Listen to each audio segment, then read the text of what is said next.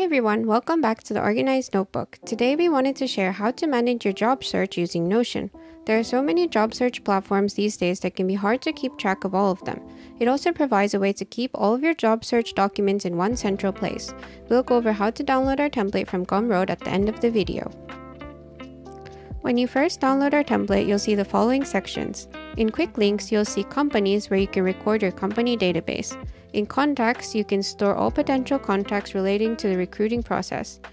Profiles and Documents is where you can store information relating to your profile, certifications, and personal documents. This makes it easier to refer to later on.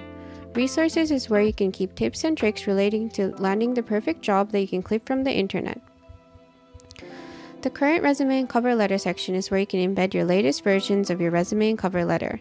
The online share to web resume and cover letter section is where you can share your Notion resume online. Application section is where you would manage all of your applications. Calendar and to do includes a task list in a calendar view or board view. The company's database records all information about your potential recruiting companies. For example, they could be Google, YouTube, Amazon, or Meta. The database currently has two views, list view and gallery view. To add a new company, click plus new and you'll find a built-in sub-template called new company on each page. This built-in template visualizes the number of applications you have worked on to apply for this company and a list of contacts currently working or used to work there. You can also gather research information relating to the company here.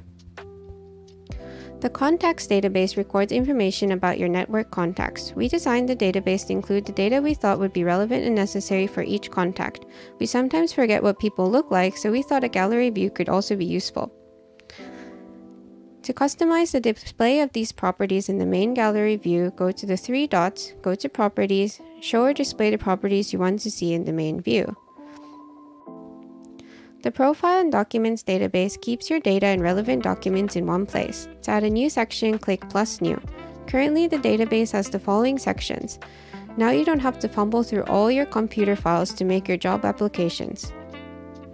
There are certifications, such as certificates and diplomas, documents, personal information, professional portraits, reference letters, resumes, and work experience. We recommend you to use Notion's Web Clipper to record nice tips and tricks relating to the job application process. Examples of resources can be tips to ace an interview, to prepare a top-notch resume, email templates, and so on. We'll include the link to our Notion Web Clipper tutorial in the description. The application database records all information related to job application including application name, company, contacts, position, due date, posting URL, application, attached files, and application stage.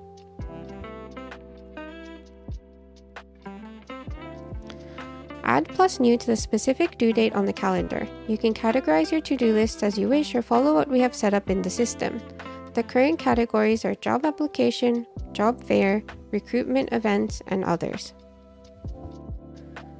You can share your Notion resume or cover letter publicly by going to the Share button and turn on Share to Web. Click Show Link options and customize the settings according to your needs. Turn on Allow Editing and Allow Comments if you want your friends, mentors, or colleagues to edit and comment on your drafts. If this is your final version that you want to publish online, make sure to turn off these two functions. Turn off Allow Duplicate as templates unless you want your friends, mentors, or colleagues to have the same template that you can use later. However, we believe each CV should be personally customized, so we do not recommend turning on this function. When you're ready, click Copy Web Link and post online. If you're on a Plus plan, you can register for your domain name and the link is search engine indexable. If you want to turn this resume or CV into a fully functioning website, various tools can help you create a landing page based on a Notion site. We will introduce these tools later. A PDF version of your resume is almost a compulsory requirement for any job application. Did you know that you can export a PDF from the Notion resume template? Simply follow these steps to export your resume. Go to the three dots on the top right of the page. Click Export. Choose Export Format as PDF. Choose Page Format. We recommend A4. Choose a scale percent. This is up to your resume content. Sometimes the scale percent would go down to 50 to 60% to fit all content in a one page resume.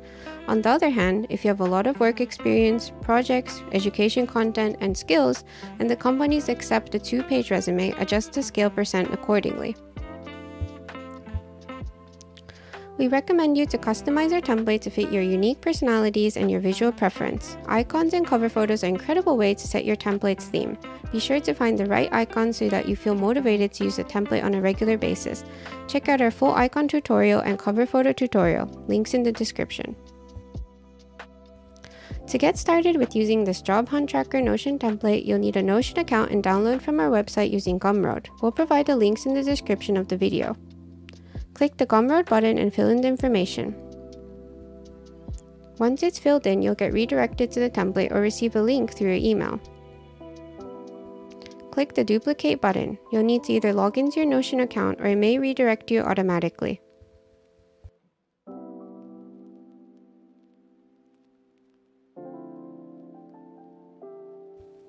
Thank you so much for watching. We hope you enjoyed learning about how to track your job search using Notion.